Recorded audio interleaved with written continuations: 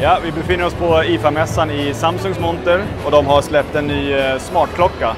Eller rättare sagt, det är en, eh, det är en blandning mellan smartklocka och eh, aktivitetsarmband.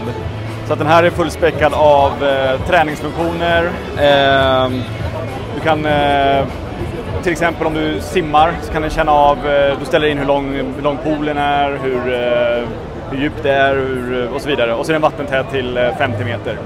Så kan det här vara det som gör att smartklockan kommer tillbaka? Får vi se. Men eh, i övrigt så har den då eh, funktioner som att du kan eh, ladda ner dina Spotify-listor och på så sätt lämna telefonen hemma när du är ute och tränar. Den kör förstås Tizen som är Samsungs operativsystem och den ska ha en batteritid på upp till 3-4 dagar. Och den här kommer att komma i den säga, 15 september och kosta ungefär 3490 kronor. Men de har även släppt en, eh, det här som heter träningsarmband som heter så mycket som Gear Fit 2 Pro. Eh, och den har lite liknande funktioner som klockan.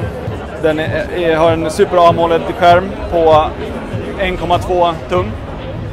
Du har eh, också, den känner av då vad du gör för, om du simmar så känner den av vilka, vilka simsätt du använder och vad, ja. Du kan ställa in diverse saker då. Eh, den här kommer också komma 15 september och eh, kosta 2290 kronor. Så att om du inte vill ha den stora klockan så kan det här vara ett alternativ.